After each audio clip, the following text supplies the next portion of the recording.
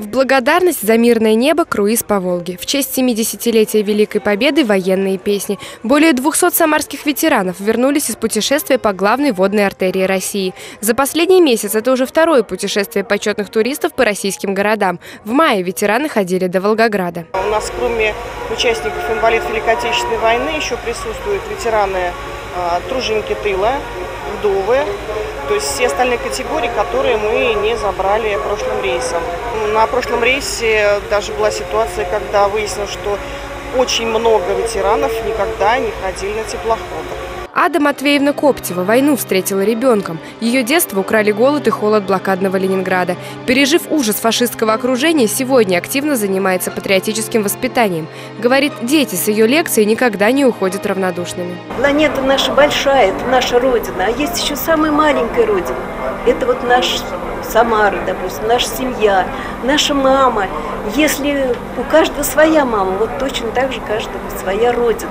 Это единственная наша Родина, которую мы любим, которой мы гордимся. В плавание почетные туристы отправились накануне рокового часа, который более 70 лет назад навсегда оставил кровавый след в сердцах ветеранов.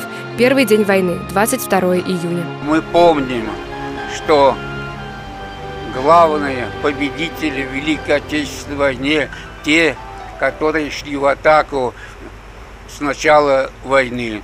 Они отдали свою жизнь за нашу Родину. На пути следования самарских ветеранов шесть волжских городов. Первая остановка в Чистополе, городе, который во время войны стал центром культурной жизни страны. Здесь жили в эвакуации Марина Цветаева, Анна Ахматова, Александр Фадеев. Нобелевский лауреат Борис Пастернак снимал в Чистополе комнату.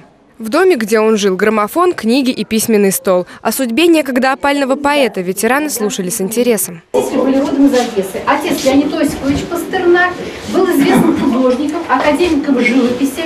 Знаковое место для самарских ветеранов – мемориальный комплекс с вечным огнем. Здесь туристы возложили цветы и почтили память погибших минутой молчания. Далее ветераны отправились на экскурсию в Елабугу. Здесь посетили Елабужское городище. Свою историю город ведет именно отсюда. В X веке на этом месте возвели неприступную крепость, из которой в дальнейшем выросла современная Елабуга. С городом связаны и судьбы великих людей. Здесь прожила последние дни Марина Цветаева. Самарские ветераны посетили музей-квартиру поэтессы. Небольшая кровать и тумбочка. Все как в августе 41-го, когда Цветаевой не стало. Того, что было раньше. Так как раньше было, что было. С чем мы выросли? От культурных подвигов к подвигам военным. Судьба кавалерист-девицы, первой женщины-офицера Надежды Дуровой. Наряду с мужчинами она участвовала в боях и ела из солдатского котла. Она получила контузию осколком ядра в ногу. Ранение было не из легких, надо было идти в лазарет. Следующий пункт – города Чайковский и Воткинск. Здесь самарские ветераны посетили музей-усадьбу великого русского композитора. Специально для почетных гостей музыкальный концерт.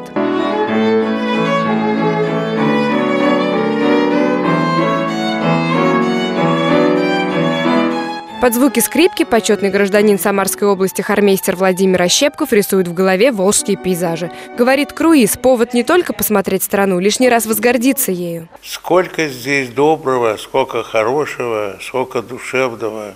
Вы посмотрите, какая изумительная природа, какие меняются ландшафты, какая какая-то теплота во всем.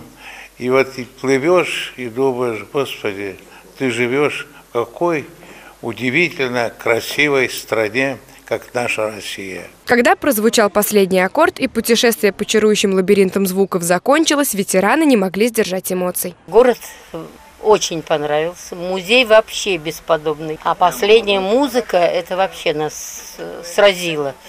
Э, пруд шикарный люди хорошие. Кульминацией путешествия стало посещение Перми, где работники Самарской администрации и общественных организаций встретились с представителями местной городской власти. Прошли через очень серьезный обмен мнениями, обсудили подходы, обсудили политику, обсудили работу с ветеранскими организациями на территории наших городов.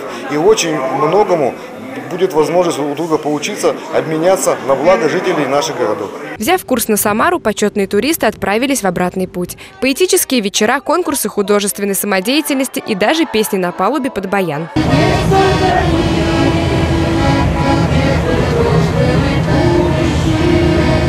Вечером ожесточенный вокальный поединок, круизная битва хоров. no bom.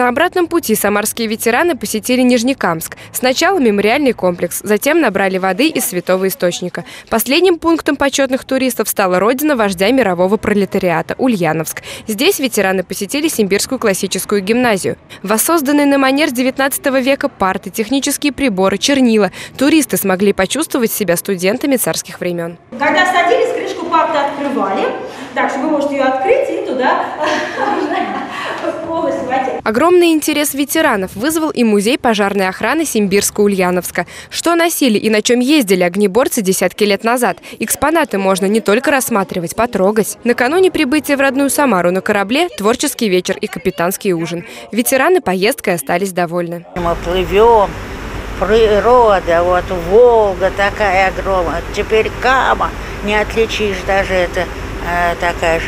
В общем, отношения отличные, забота. Мы увидели новые города, в которых мы вообще и не были, даже вот в Перми я ни разу не был, и во многих.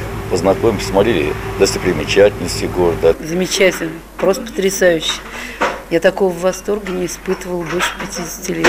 После недели плавания теплоход Федор Достоевский на берегу встречали родственники и близкие ветеранов.